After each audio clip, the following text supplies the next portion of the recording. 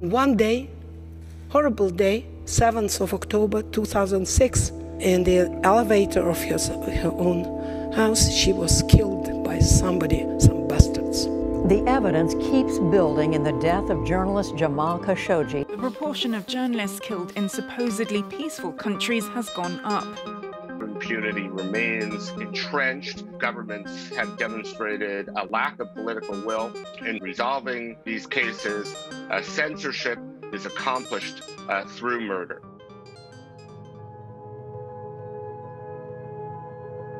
A safer world for the truth is needed to find new evidence and push judicial authorities to reopen these cases and bring justice for the sake of the truth.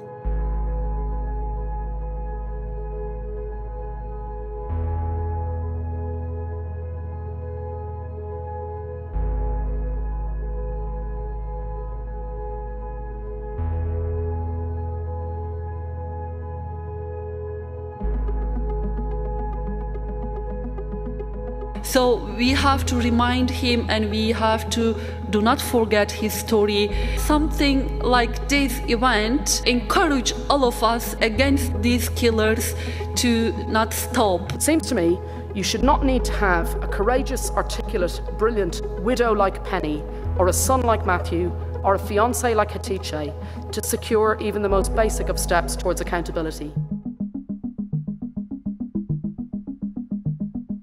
En Veracruz nos convertimos en, en fotógrafos de guerra. Yo espero que este sea el inicio de muchos casos. Y eso ha provocado evidentemente otros mecanismos para intentar silenciar a los periodistas.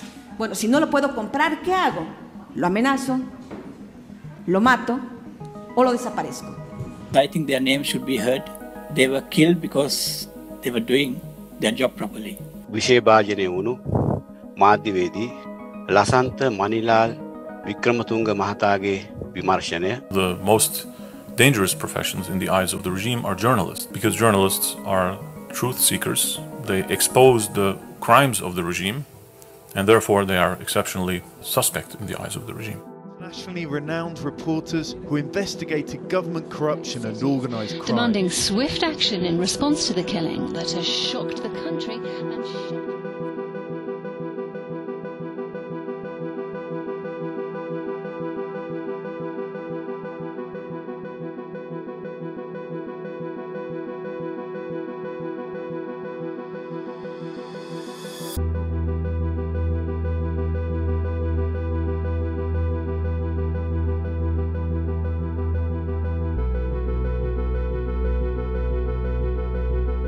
there is a huge hope for the future that the situation improves. And the fact that we have this People's Tribunal today is a first sign of hope. Your tribunal does not have the capacity to put perpetrators behind bars, but you have the capacity to name and shame.